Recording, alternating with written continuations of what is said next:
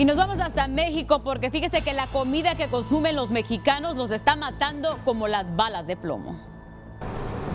En la última década, México se ha dado a conocer por los enfrentamientos violentos del crimen organizado, donde mueren aproximadamente dos personas por hora.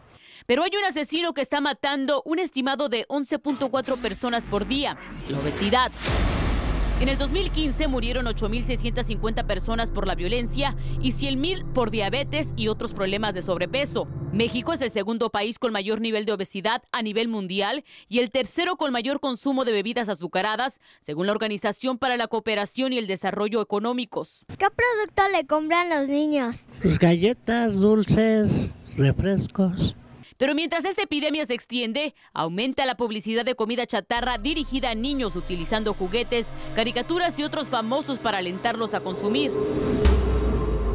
Un investigador del Instituto Nacional de Nutrición asegura que la nutrición comienza en el vientre materno, ya que un bebé que empieza a recibir alimentación alta en azúcares y comida chatarra en el vientre ya nace predispuesto a seguirlos consumiendo. Las personas con un nivel educativo menor o una condición socioeconómica más baja tienen más probabilidades de sufrir sobrepeso u obesidad y por lo general la brecha es mayor en el caso de las mujeres. El gobierno mexicano ha implementado medidas para disminuir el consumo de los alimentos con bajos niveles de nutrición. Una de ellas fue la creación en el 2014 de un impuesto del 10% a las bebidas azucaradas, la regulación de publicidad de comida chatarra en horarios para niños y nuevos etiquetados pero las medidas han resultado insuficientes.